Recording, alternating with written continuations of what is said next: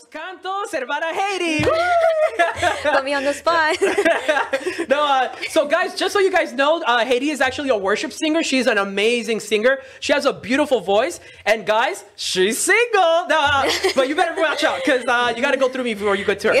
Um, yeah, so she has a lot, a lot of people filtering all of you guys out because uh, she has a very special heart, and she's such a beautiful sister in Christ. Um, so Heidy, why don't you tell us a little bit about what church do you go to, and what do you do at your church?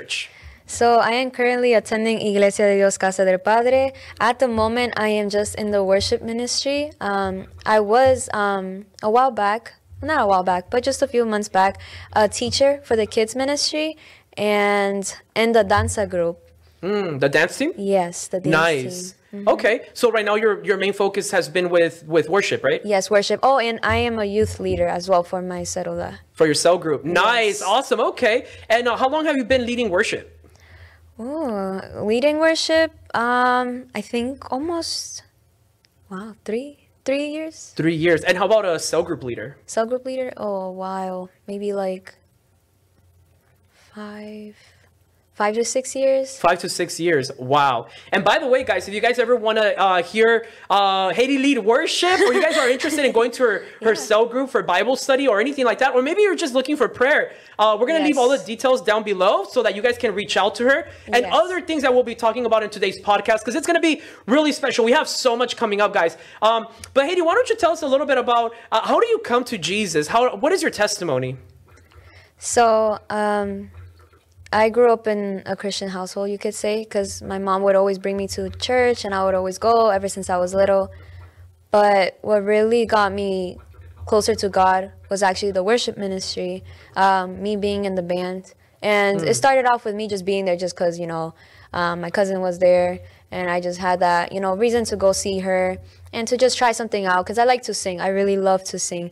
But when I would um when I would go to the altar and I actually had those moments of worship, I I was like, wait, this is more than just singing. This is actually like feeling the presence of God and and worshiping him and honoring him through my voice, through me singing. And so that's when I actually began to get that relationship with God is through the worship ministry and through singing. Yeah. That that's powerful. I, I like that, and um, you know, I, I think a lot of people shy away from going to church or from uh, having faith, right, in God. And I think Mm-hmm. it's really important, as you were saying earlier, when you were struggling with like anxiety and even with depression, how Yeah. prayer has played a powerful role. Yes, now, but with with that said, um, how does how does having anxiety and and or having had anxiety and then now dealing with depression, how does that play a factor when you are in church? Do you ever find it like um, affecting you while you're at service? Like, does it ever distract you from being present or anything like that? So uh, with the anxiety back then, it it wouldn't even allow me to go to church. That's how bad it got. But when I would go to church, I remember I would go on Tuesday nights for prayer, and it was it started off with just me like quietly mumbling to myself in prayer, just there, because I was too embarrassed to express myself. Because when you're going through that really harsh, um, dark pit, um, you just feel like you know you don't want to you know scare people away. But then it came to a point where I was like, I came to a point where I was praying. I was actually like crying out loud, like, like I, I look crazy, but I was like, you know what? God is hearing my prayer, and God always hears your prayers, and that's what had affected me at church was just the way I pray to God. I was like, you know what? I shouldn't care what people think when I'm praying or the way I express myself because this is about me and God, my relationship with God. Um, I'm not here um, going to church for anybody else, you know Oh yeah. and with the depression um, the way it would affect me i guess today um, there was just moments of um, lack of motivation where i would tell myself be like well what's the reason why i should go to church? Like what's really keeping me um, what is keeping me from going? You know what what is the reason why i want to go to church? And again it's like holding on to that purpose that i know that god has not only for me but i know for the life of many youth that there's so many youth out here that have many talents whether it be with singing or with serving. They can be an usher multimedia you know having that understanding of technology you know. That's what helped me during my depression is having that stability in the worship ministry is just having that you know that feeling of i do have a promise from god and i have a purpose hmm. here at church. And knowing that you have a purpose not only at church but you know in your life um, that's what has helped me. Even though I, it was affecting me at church, I was overcoming it with Wow. the things. Yeah. No, that that's really good, Heidy. I think it's really really cool that while you're connected, while right, while you still engage or, you stay engaged in different serving um, at the church, I think it's really important to uh, also help people understand when you're connected to a church. Think of it like um like an outlet in a room. You know that if you put your finger in there, there's power in there. But in order for you to feel that power, or in order for you to get power out of there, you have to connect something in there, right? And so the best way to know whether or not the, the church has power is to stay connected. You got to stay connected to the place. It might be down the street from your house. It might be a church that friends or family has invited you to go to. But I encourage all of you guys that are watching, go to church, stay connected to a church. Um, Heidy, what about a Bible verse that really stands out to you that's probably helped you go through depression Oh, a Bible verse that helped me through depression. or even anxiety? There's so many. I don't know quote by quote, but it's the one where it says um, that the peace um, that surpasses all understanding um, brings so much joy. And there's another verse that says like just like it. It made me feel like free in a sense where it mentioned like we are like an eagle that soars out his its wings, just out of freedom, just having that liberty. I really Yeah. like that verse. Cause No, I like that. Yeah, yeah. yeah.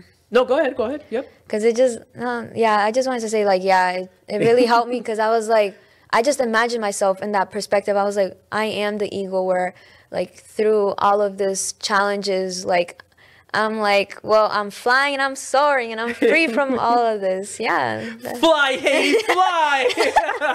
fly, little bird! no, that, that's cool, dude. I, I like that. And, and you know what? There's a lot of verses in scripture that really anchor us down in our faith, and it lets us know that even if the storms come by, Yes. um, we'll be we'll be steadfast. The Bible says we'll remain strong. We'll persevere, right? And it seems like perseverance has really been a thread throughout this conversation. It helps us persevere in different ways. And um, Heidy, would you mind or would you feel comfortable talking about purity? Purity. Yeah. Yeah.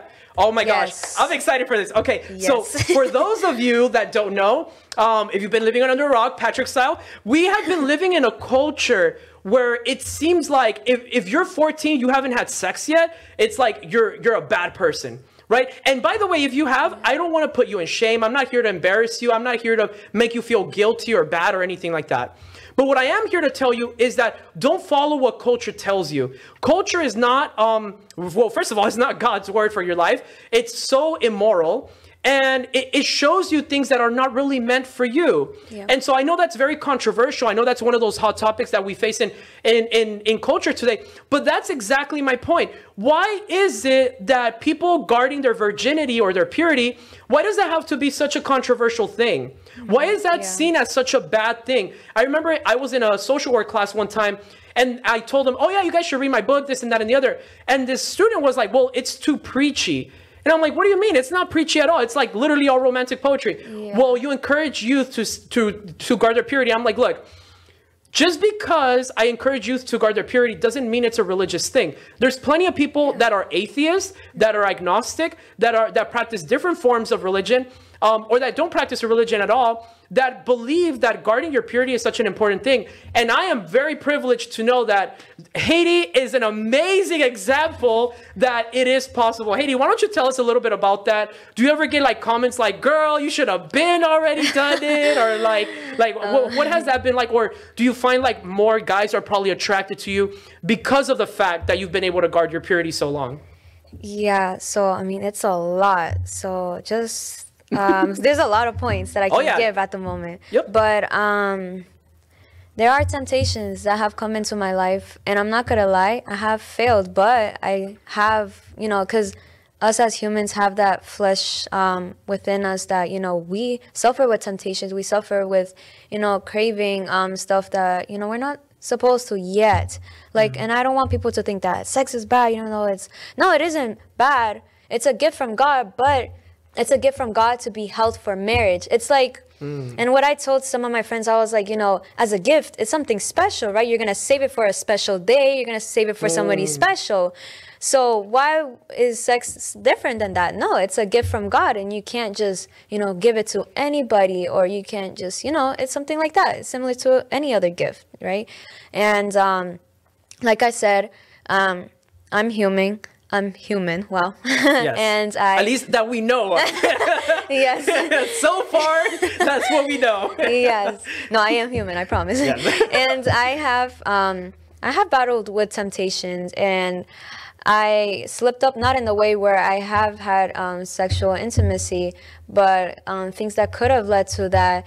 And um, my pieces of advice is if there is anybody or anything that is keeping, like trying to provoke you into potentially like leading to that point where they do um, want to sleep with you, um, I recommend to flee, um, to to leave because, like I said, we are just incapable as human beings to to control uh, our fleshly desires. We can. We have self control. That's another thing too that I learned is that we do have self control. Like I've learned that about myself is that yes, I, while I was going through the temptations, I was like, well, I have self control, and I didn't allow things to lead to that point, but you know, it also depends on who you're with, right?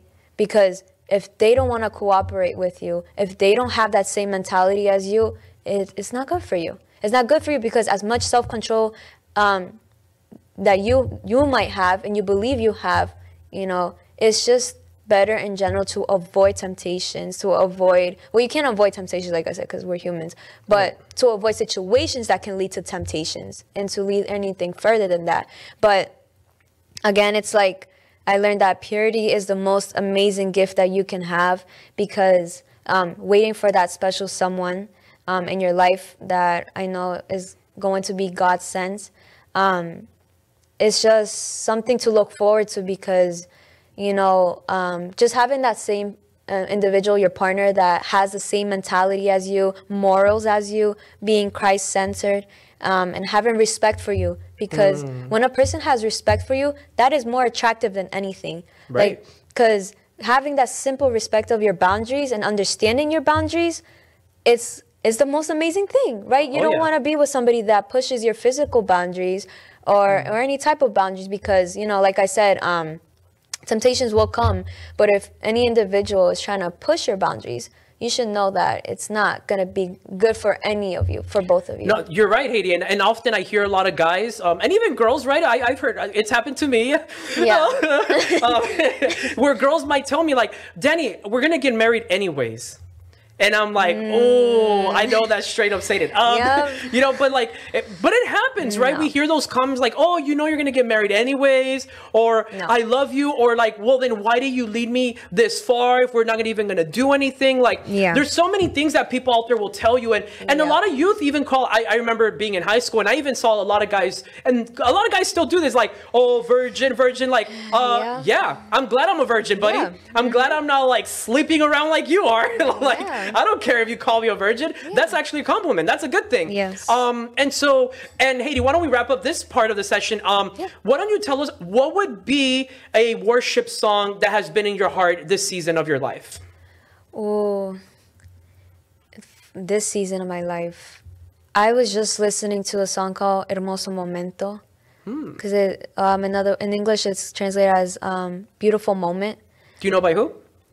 Uh, what's her name? I do not know her name. Okay. Uh, yeah, but um. We'll find it later. It's yes, all good. we'll find it. and I feel like just that song um, allowed me to be in the presence of God, and it's just describing how the beautiful moment that we have with God that we don't um, we don't need to depend on anybody else um, to make us feel loved and to feel um, loved. You know, it's only God that is well, God and other people that are there supporting you, but God is really there for you in His presence. Wow, I love that, Heidy. Thank you so much for sharing that. And if you guys are interested in finding out what song that is, or if you already know what the name of the song and the Yeah. artist is, why don't you let us know in the comments down below?